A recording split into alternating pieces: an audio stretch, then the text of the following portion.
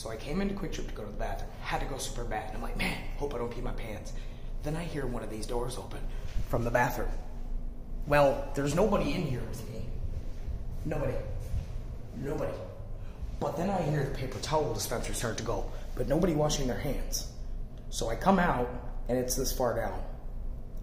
Uh, if there's a spirit in here, can you make that device go again and make some more towels come out?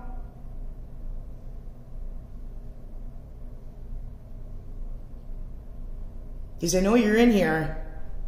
I heard this go off a lot, so can you make that go off again?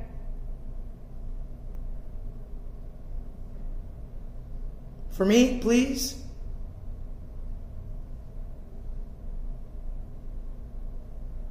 Hmm.